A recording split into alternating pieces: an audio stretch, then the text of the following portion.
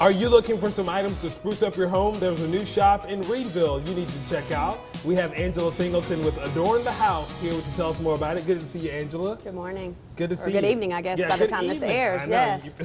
tell us a little bit about um, Adorn the House. Of course, people are into updating their homes, home decor type things. Tell us what we'll find when we go in your shop. Well, my store has a selection of uh, many different styles of home decor, as you can see from what I've brought today.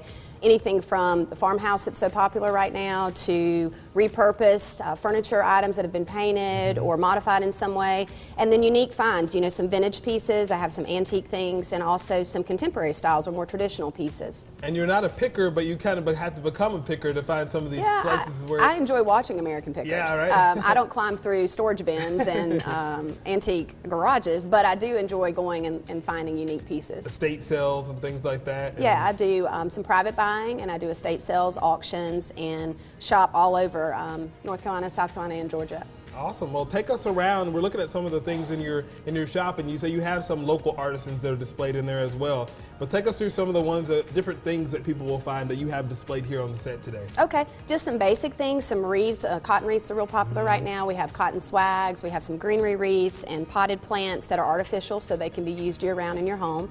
Um, one of the things that I like to do is just redo some things. Mm-hmm. So, for example, I have a chair here that was recovered with a coffee bean bag, so it's durable, but also you know something special for And your they- room, kind of a conversation Yeah. piece. And they call that like upcycling, by taking something that would have been recycled, but then adding, upgrading and adding Right, just making it something different. Okay. Um, again, vintage pieces. This is a vintage sewing drawer that Mm-hmm. we've painted, and you can you know use it for different storage pieces. We have vintage scales. We have some more traditional wrought iron type pieces, um, hand painted jars, and this is a really neat thing here that we do that's very popular. Just taking books. Kind of deconstructing the books, Uh-huh. tying them together. It makes a nice um, accent for a side table. and then taking a frame. yeah, and just put putting it in the there. center of the of the table. Such a great idea too, like something that people wouldn't have thought about. And a lot of times you hear people that are trying to find pieces that may have been in their family a long time and trying to find a way to update that to make it not look so old, but you want to keep the character and the storyline. Yeah, and I do have people, I don't deal with larger pieces of furniture because I am located on the second floor of a historical home. Yeah. So it's not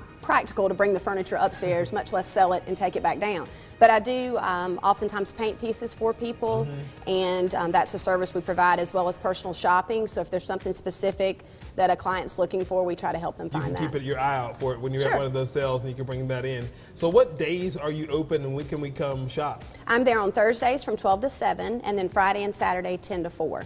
Okay, so people can check you out. And uh, you said that once you put the address in your in your GPS, you need to put Woodruff. Right, it's a Woodruff address. It's right off of Reidville Road, um, just between 290 and 101. So if you were coming down 85, it would be the BMW plant exit. Okay. But it is a Woodruff address, and many times people get turned around and they're not sure exactly which way to go.